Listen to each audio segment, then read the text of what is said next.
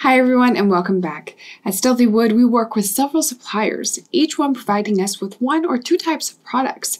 As we want to automate our purchase process as much as possible, we're thinking about using blanket orders for some of our purchases. Blanket orders are confirmed long term orders for supplying specified goods for a fixed period or for a fixed quantity. Doing this will allow us to group purchases that would otherwise happen over an extended period and also receive discounts based on quantity. It's also a great way to simplify the ordering process for items that we order repeatedly. Rather than creating a hundred different purchase orders, we can create a blanket order and receive the products in multiple deliveries. Doing so eliminates the need to search for new suppliers or renegotiate the terms and prices of a contract. So let's see how it works in our StealthyWood database. All right, here I am on my database, specifically looking at the purchase application. Now, what we're going to do is go to configuration, purchase agreement types. Okay, in order to see this menu item, I of course needed to activate the option in the settings of this application. So if you haven't done that, be sure you do that now. Um, so since I had that, I activated that and I have it saved, I have two purchase agreement types here by default. So my call for tender and my blanket order. And we're going to focus on the blanket order in this video, but if you're interested in the call for tender, be sure you check out the other video on that. So let's go ahead and open this up. All right, so we have some options here for the blanket order. Of course, we have the name, which is our agreement type, and then we can have our selection type. So how we select our request for quotations, if we want to select multiple or if we want to select only one. Um, since this is a blanket order, of course, we want to select multiple.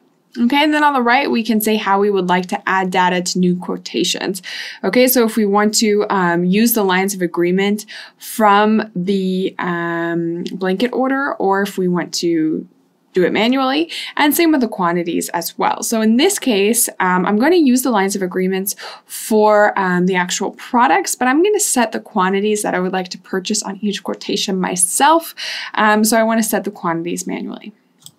All right, now that we've seen this, let's go ahead and see it in action. So we're going to go to orders and then we're going to go to our purchase agreements and we're going to create a new one. So I'm going to click on create. Okay, so once I have my draft um, blanket order, first of all, I need to be sure that I select blanket order here. It might not be there by default. It depends on the sequence of your purchase agreement types. Um, but here, let's go ahead and select blanket order. All right, and then I'm going to choose a vendor. Okay, so I'm going to choose Gemini Furniture actually. So, in fact, I had a conversation with Gemini Furniture, and um, they're going to cut me a little deal on some products, okay? Um, but the deal that we have, they say, okay, we're going to give you this nice discount, but you need to purchase all of the items before a certain amount of time. So, actually, we're going to add an agreement deadline because of that. Um, so, today is February 4th. Let's go ahead and say we have a month all right, for this agreement. Um, and then we're going to add the product as well. Okay, so let's go ahead and um, choose our product. Let's say our office chair. Okay, so I added it here. And then I'm going to select the quantity, uh, or I'm going to add the quantity that I need to order um, overall for this blanket order. Okay, so it might not be the individual quantities on each quotation, but um, the quantity that this blanket order covers. So I'm going to go ahead and say 100 here. Okay, and then I'm going to also add the price that we agreed on as well, um, which is, let's say, $10. All right, so it's a really good deal. So let's go ahead and save this. And then we're going to confirm and we're going to see that this blanket order goes from draft to ongoing. And then we can start create we can start creating some new quotations just by clicking the new quotation button. All right, when I click on the new quotation button, I'm going to have a draft uh, RFQ here. So we see request for quotation. All right, I see that the product was added as well as the unit price, but not the quantity because I wanted to set that manually. So let's go ahead and say 10, for example, here. All right, we're going to go ahead and save this. And then we will confirm. And once it's confirmed, of course, we see from RFQ to purchase order, and we have a receipt as well. But let's go back to the blanket order and see what happened on this level. Okay, so first of all, we're going to see that we have that RFQ here, so we can always access that easily. No matter how many we have, we can just go back and review everything that we've ordered quickly.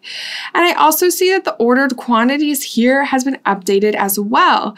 All right, it has gone to, from zero to 10 ordered um, quantities. All right, so that's really cool as well. We can keep track directly from the blanket order. We don't only have to review all of our RFQs to have that information. Now, something else I want to point out is since I am, am using this vendor, Gemini Furniture, now when I go to uh, my product template, the vendor will be added there under the purchase tab. All right, I have Gemini Furniture, but as you can see, Gemini Furniture uh, was already added. So we had Gemini Furniture earlier. Um, if we purchase a quantity of 12, the price would be 90. Um, but below, we're actually going to see that we have Gemini Furniture again, and we have a specific agreement with them as well. And we have the price for that product. So it's added to the product template um, so we can keep track of everything that's going on with our vendors for this item as well. So that's really cool. All right, so that's the basics of the blanket order. As you can see, it's so easy um, to manage this flow. So definitely take advantage of that uh, with Odoo. That's all for this video. Thank you for watching. And if I don't see you, good afternoon, good evening, and good night.